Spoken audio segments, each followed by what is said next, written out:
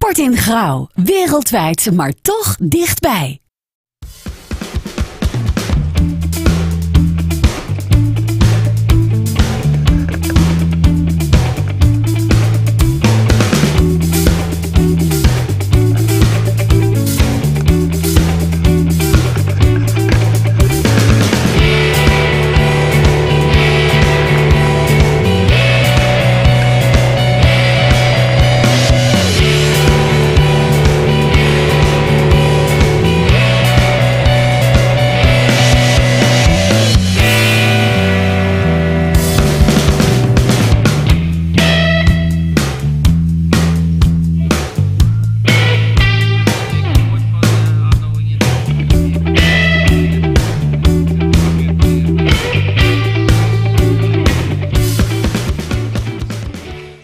Sport in Grauw. Wereldwijd, maar toch dichtbij.